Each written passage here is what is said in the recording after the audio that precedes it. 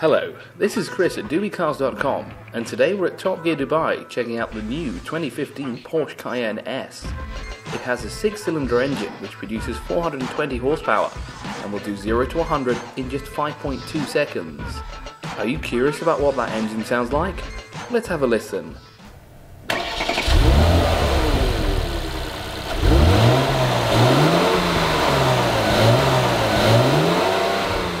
A wonderful sound from that 3.6 litre engine as you can hear.